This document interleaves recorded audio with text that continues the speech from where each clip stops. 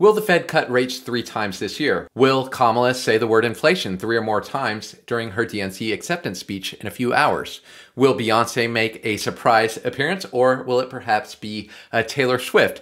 These are all bets that you can make on Polymarket, the world's largest prediction market, which allows you to place trades on the world's highly debated topics like politics, economic events, uh, pop culture, and, and other news related events.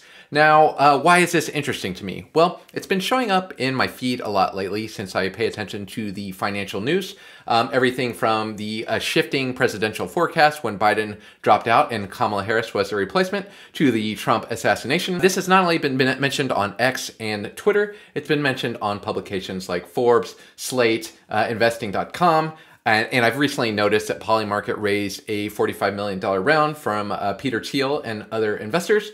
And Polymarket even recently hired Nate Silver, the author of this book that just came out and well known from 538 a while back. Uh, he's making the podcast rounds lately talking about the subject of taking calculated risk. Now, why else is this interesting to me? Well, uh, despite uh, all this coverage that I'm seeing lately, uh, no one's really been talking about the underlying data. I haven't seen any uh, software engineers or data scientists out there that are on YouTube that are looking uh, at this data that you that is publicly available. There's a Polymarket API where you can see all the orders and trades coming in. You can look at the historical data. You can programmatically place a trade all via Python code right here. And so what I thought I would do in this upcoming series is start talking about uh, prediction markets. And so I've been collaborating on this project with a friend that shares that interest. And we're going to be discussing Polymarket as well as other markets like Kalshi and Interactive Brokers Forecast Trader to compare and contrast all of these different prediction markets,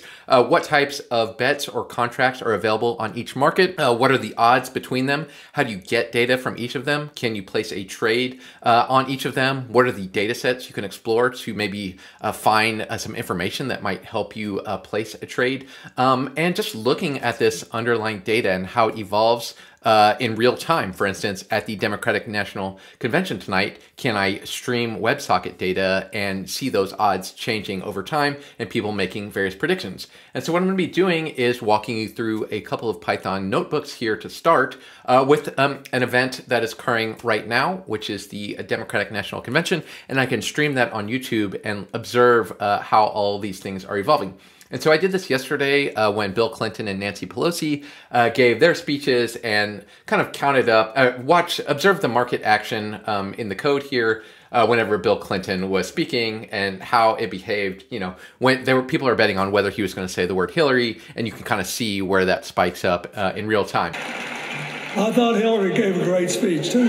Can I transcribe that or predict he's going to say that? I'm thinking about all these questions, um, but there's also some delay in live streams. Um, what do the odds look like on Kalshi versus Polymarket? There's an infinite number. How does one contract affect the other? Um, all, all, these different events raise millions of questions in my head, but we have to start uh, somewhere. And so what I want to start out with is just learning how to use the Polymarket API to get all the available events and markets um, that you can uh, place trades on. And I also want to show how to stream all this data in real time. So you can see I'm doing this uh, right now with the election. And so this is graphing in real time all the different uh, trades um, that are occurring right now, the trade count and the volume on the election odds. And I'll walk you through uh, how to use WebSockets uh, in this context. And also, you know, I have various other things I'm exploring right now, such as Fed rate cuts, how economic releases might affect these odds. And there's also some interesting repositories I'm noticing out there that are starting to appear around uh, this uh, Polymarket market maker uh, bot here and also Polymarket agents here for the uh, AI folks. This came out like a week ago. All right, enough talk. Let's go ahead and get into some code. I'm sharing this as a Colab notebook so that you can follow along if you would like. Uh, so I'm going to walk you through what I'm seeing in the Polymarket API so far. And so the first thing we want to do is get some event and market data. And first of all, understand what an event and a market is even is in this context. So uh, the first thing we need to know is that there's a, a Polymarket API. It's at docs.polymarket.com. And you'll see there's this order book API right here. And there's also what's called this Gamma Markets API. Now, the first thing that we're going to look at is this Gamma Markets API. We're not going to place uh, any orders right now. And what this API does is allow you to get uh, the structure of all of these events and markets. And this walks you through a description of uh, how is Polymarket organized. So when you're on uh, this screen here, there's a, a lot of different uh, bets going on. And so this, what will Kamala Harris say during the DNC acceptance speech? This is called an event. And then all these individual bets under here with the yes and no's, these are considered uh, markets. And so what we can do first of all is use uh, this API here, Gamma API uh, polymarket.com to retrieve all of the markets and all of the events. And so since um, an event is a set of markets, let's just fetch all of the events first. And this is very easy to do. Um, and so in our in our case here, uh, we're looking at this. What will Kamala say during her acceptance speech? And this is uh, streaming right now, by the way, on YouTube. Um, event is set of markets. So the event is what will Kamala Harris say during the acceptance speech? And then grouped under that event is a variety of different markets. So is she going to say we're not going back? Yes or no? Is she going to say ceasefire, joy, inflation, Donald Trump five times? Is she going to talk about the monkeypox, right? And so there's all of these different markets under this event. And there's also some events that only have like one market underneath them. So will Beyonce attend the DNC and will Taylor Swift attend the DNC? And so look, we have these API endpoints. And so first I want to get the events, right? And so if I look down here at events, I hit my gamma endpoint slash events and then I can filter down these events too. So there's lots of events on here and you probably don't want all of them. You want to filter by uh, ones that are currently open, that have actual markets under them that are active, and you might want to filter them by a tag. So all the events associated with the DNC. And so we have um, the uh, Kamala Harris one right here. But if I search DNC, so I could use my API to find all these DNC related events. Um, and then this Kamala Harris one is the event we're interested in, and we want to figure out how to fetch all of these markets that are below that. Okay, so in my notebook here, you see we're just importing the Python request library. We've used it a million times on this channel, and so what I'm doing is uh, requesting Gamma API polymarket.com slash events, and then I want to filter out um, any markets that are already closed. I want things that are active right now. Otherwise, I'm looking at, at, old information that doesn't have any current active bets. So the DNC from yesterday, for instance. And so you see when I run that, I get this huge list of events in JSON format. And you know, this is just a big dump of all of the events that are currently active. And so you see here, I have an event ID and then a question and then this one's Will Joker 2 gross the most in 2024? So people are betting on um, the gross revenue from a new movie that's going to come out, right? Um, so I'm not interested in that. You know, depending on your interest, you might be interested in sports or news. Uh, you might want to filter this down. And so in this case, I'm aware of this Democratic National Convention uh, bet. So what I want to do is take this list that came back, this JSON format, and I want to filter it down to just uh, the questions that have a Kamala in the name. So if you scroll down here in the notebook, I'm going to filter on events containing Kamala. And so what I'm going to do, since I got response, I'm going to loop through all of the events in there. So loop through the response. And I'm just going to say if Kamala is in the event's title, then let's print the event. And so if I run that, you're going to see that we get uh, three different um, active events here. Uh, will Kamala Harris get replaced at, as the nominee at the DNC? Very unlikely, right? Uh, what will she say during the acceptance speech? That's the one we're most we're interested in right now. And then there's a uh, will Kamala drop out in August, which is a very unlikely event as well. But, you know, if you know something, you know, the upside is very high there. So now we have the event. What will Kamala say at the acceptance speech? And we have an ID for that event. Now, under that event, there are various markets. And so if I scroll across here, you'll see this structure actually has a lot of information in it. It says when the bet closed, uh, information about the comments, order book, um, right? And then you see this one, will Kamala Harris say couch? During the DNC speech, and you'll see this key called markets. And so in the event, they have nested all of the markets. And so what I did here is create a dictionary, Kamala events, and what I'm doing is making the key the event ID and then storing the event right there. So uh, I'm getting all the Kamala events. So we can see here is I'm getting markets for this event. I know the ID of the event is 12088 and I'm printing all the markets. And now you see we have a new list. Will Kamala say couch during the DNC speech? Uh, there's different outcomes and lots of data about how this bet is resolved and the current odds, tags, and things like that. And then you scroll down further, you'll see, will Kamala Harris say coconut during the DNC speech? And they're all listed out like that, right? Uh, so this is a lot of information. I don't want all of this right now. What I want is just the various questions and the current yes-no prices. And so what I can do is loop through all those markets. So I'm going to do for market in uh, in this dictionary, 1208 markets. And then what I'm going to do is if um, there's outcome prices in this dictionary and there are these tokens in this dictionary, I'm going to print it out. So these are the ones that I can uh, buy a yes or no contract for. And so you can see when I look at this now, you see uh, inflation during the speech, uh, high probability there, so 62% chance. And so I could buy it for 62 cents, and then it pays out a dollar if she actually says inflation during the speech, um, and then unburden, et cetera, et cetera, Project 205, uh, and so forth. And so uh, on the left side, you see the uh, the price for the yes contract, and then on the right side, you see the price for the no contract.